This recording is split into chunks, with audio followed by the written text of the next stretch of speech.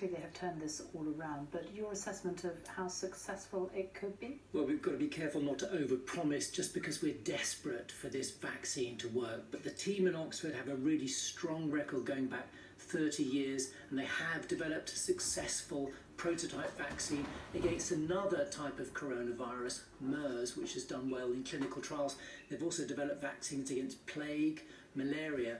Now, if they don't get early, quick results in the UK, they're considering a trial in Kenya where the epidemic of coronavirus may well be on the rise. Now, this virus is known, this vaccine